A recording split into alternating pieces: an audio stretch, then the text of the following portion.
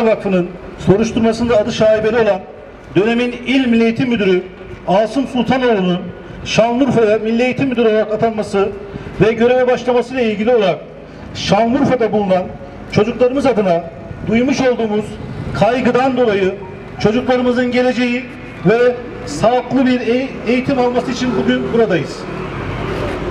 Olayın yaşandığı tarihlerde Karaman'da İl Milli Eğitim Müdürü olarak görev yapan Asım Sultanoğlu hangi başarısından dolayı ilimize atanmıştır?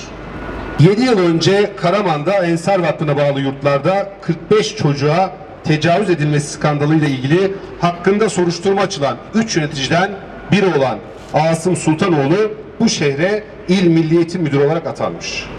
Oysa skandalın yaşandığı dönemde Karaman İl Milli Eğitim Müdürü olarak görev yapan Sultanoğlu'nun olayın failiyle fotoğrafı ortaya çıkmıştı.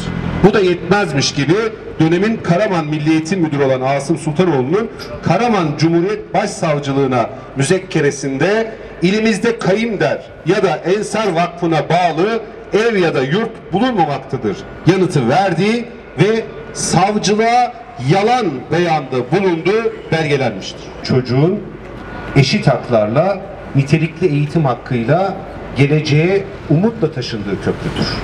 Öyle yandaş müteahhitleri zengin etme, geçiş garantili köprülere benzemez. Bu köprünün temelinde Cumhuriyet devrimleri vardır.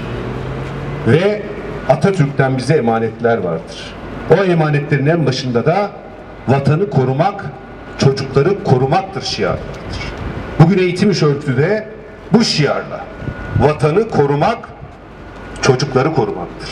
Çocukları korumak, vatanı korumaktır şiarıyla bugün Şanlıurfa İl Milli Eğitim Müdürlüğü'ne atanan kişiye ve onu atayanlara bunun kabul edilemez olduğunu ve bu görevden bir an önce el çektirmesi gerektiğini ilan etmek için buradayız.